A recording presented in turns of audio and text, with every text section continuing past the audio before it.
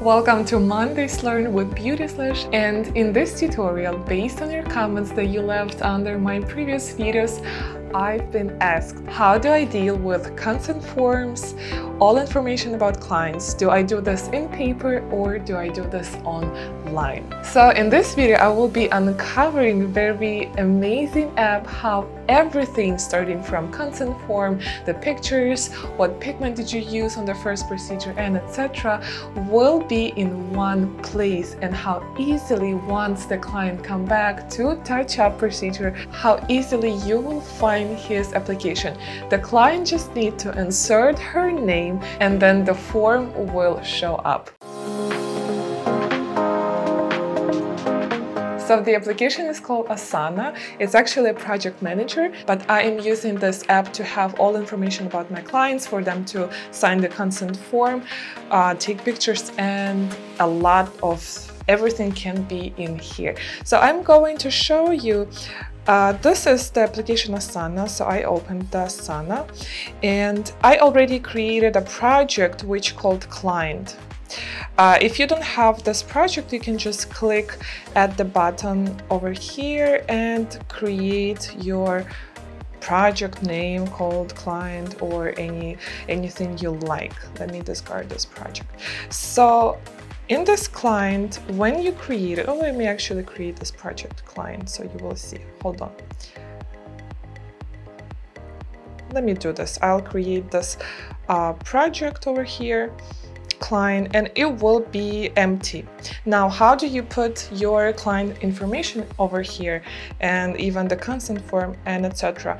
So I will create a, a task over here and I will name it as my client's name. For instance, Kelly, I don't know, Miller and I can start create. So this will be her form.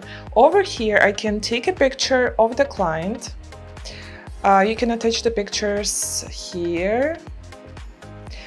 You can take a picture of the client, of the consent form, anything, and you will basically just send to this task or this or her profile. You can type over here in description the pigment that you were using, brown 1 and brown 2 or any information and just hit save so you can also attach here any files you need from your phone. You can put the due date of her uh, arrival and etc. This app was created as again as I mentioned for the projects but I found it so useful for clients. But I want to show you how it's easy for the client once she come to touch up. She just need to type on your phone of course uh, her name Kelly